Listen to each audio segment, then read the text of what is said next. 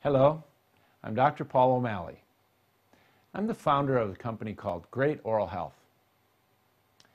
My goal started about 10 years ago when I saw so much suffering of patients that I had that lost teeth and had gum disease or they had extensive cavities. And I thought there must be another way or a better way for them to achieve greater oral health. Now, it's true, dentistry's never been better.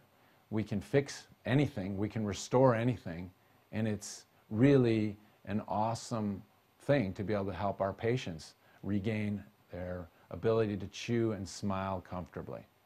But I thought, is there a natural way that we can really enhance and help prevent these problems? The former Surgeon General has stated that gum disease is the silent is a silent epidemic and, and, and a silent killer. And we know that from the American Heart Association that um, people that have gum disease are more prone to having heart problems and cardiovascular problems. Well, what could be done that could enhance things naturally? Well, that was the quest I was on, and that was my journey. And over the last 10 years, I've studied various ways to help in that arena. Yes, brushing, flossing, scraping the tongue, those are all very, very vital things to be doing on a daily basis. But I came up with a breakthrough technology, and the first product that we've launched with my company is an advanced oral probiotic, which will do just that because it has an uncanny way of using beneficial bacteria to actually help push out the harmful bacteria that accumulate in one's mouth. So it's more of a lifestyle change because rather than just killing the bacteria for four to six hours because they regrow every four to six hours.